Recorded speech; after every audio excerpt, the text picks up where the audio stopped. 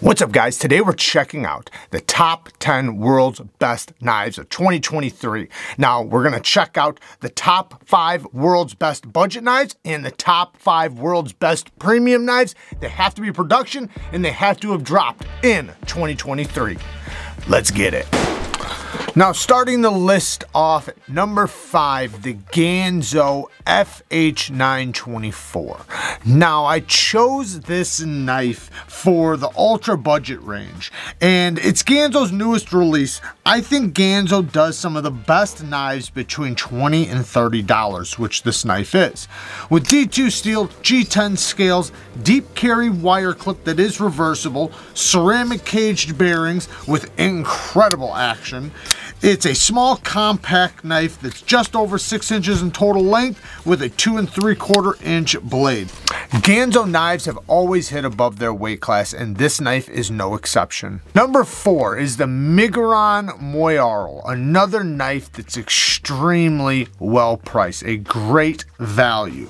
Just under $50, it's using 14C 28N steel, which is a great mid-grade steel, G10 steel liners and a milled titanium pocket clip. All that for under 50 bucks. It's a great size at 7.5 inches, 3.5 inch blade. It has a very useful design that anyone can appreciate. And to top it all off, it has incredible action running on its ceramic caged bearings. It's super snappy and super smooth. Number three is the CJRB Ekko. Now this is a knife that hits way above its weight class. It has button lock action with multiple deployments.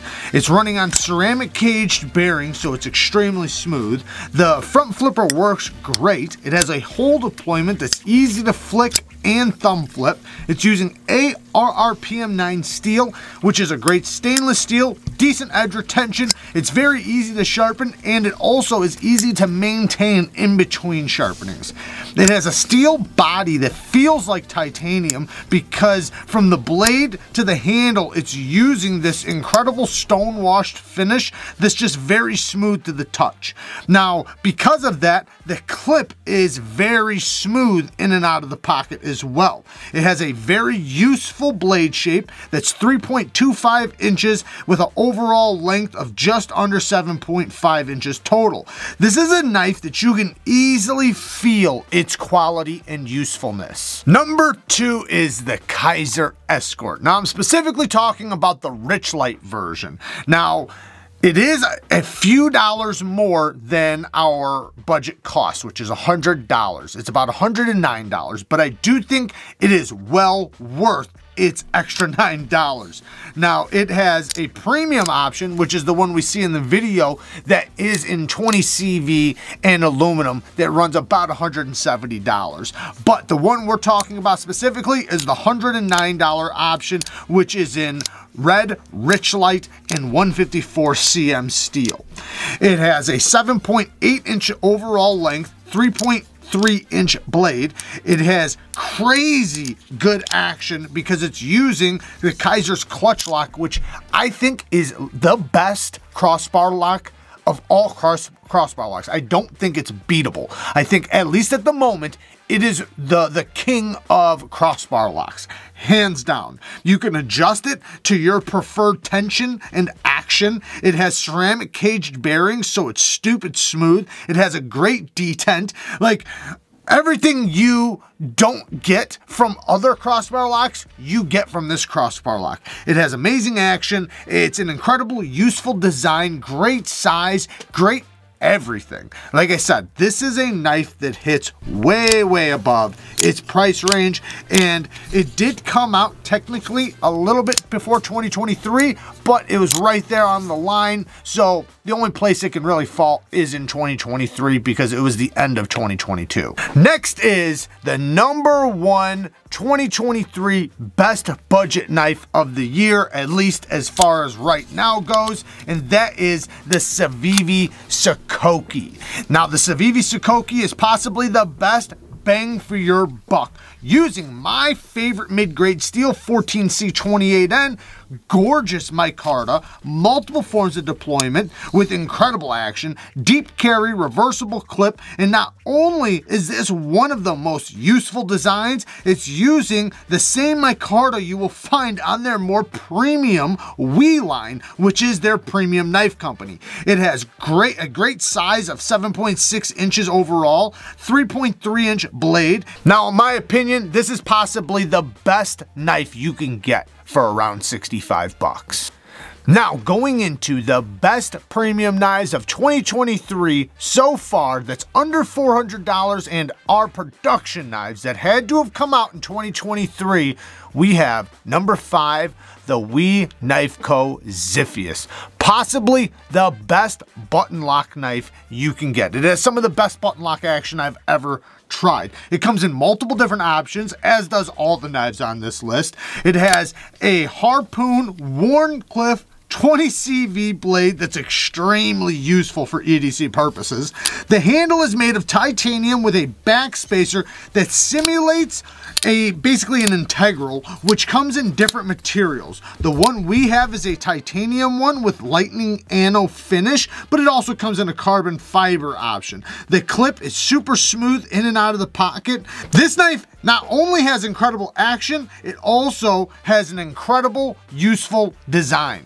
For around $350, it has a more premium feel than many other similar priced WE knives.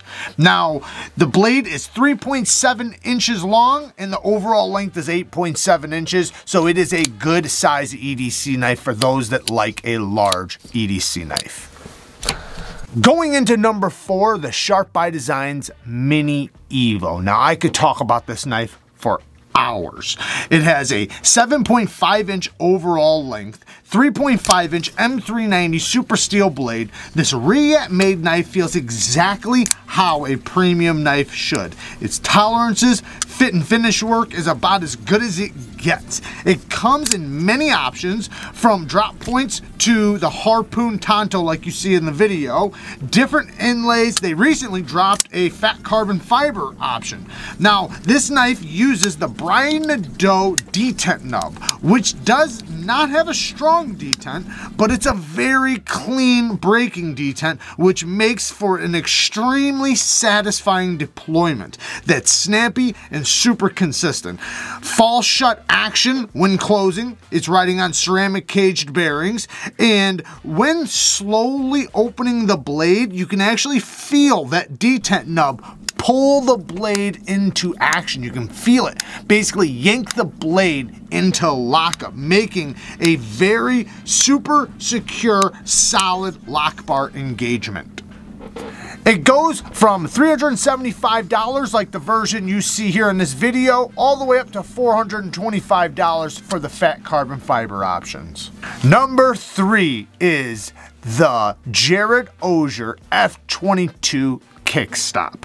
Now, possibly even better than the Sharp by Designs action, which I know is difficult to, to even think of. Now, I'm gonna say something that I think is crazy, but could possibly make the best action ever, and that is somebody should mix the Brian Nadeau detent nub with a kickstop. If they did that, I can't imagine action being any better than that. And if somebody already has done it, please somebody tell me down in the comments. I would love to know what knife that is if they've already done this and I just don't know. Anyways, the reason the kickstop is so good is because the flipper tab is separated from the blade, allowing you to put the flipper in a spot that creates incredible leverage. However, after you deploy it, when it's open, it won't hurt the ergos or the hand position since it stays in place. If it was connected, like most knives, the more leverage the flipper has means the higher it would have to be in the closed position.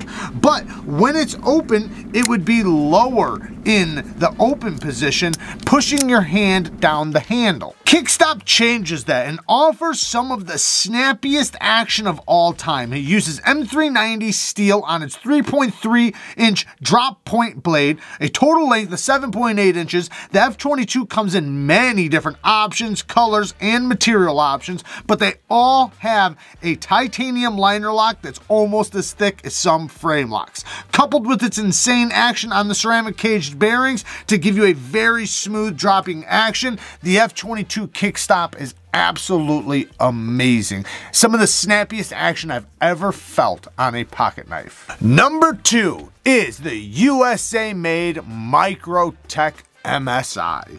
Now, look out for the full review coming soon. We are going to be doing that. The MSI uses Microtech's new version of M390 called M390 MK Steel, a 3.75 inch blade with an overall length of 8.75 inches. What's special about this knife is it's using their new ram lock, which is a drop-in system that should be theoretically very, very strong, but I guess we'll find out about that in the full review along with how well this new steel is. While the action is not as satisfying as I would have hoped, because it has a lighter detent than most people would probably prefer, it does have multi-row ceramic caged bearings that are very smooth on the closing action.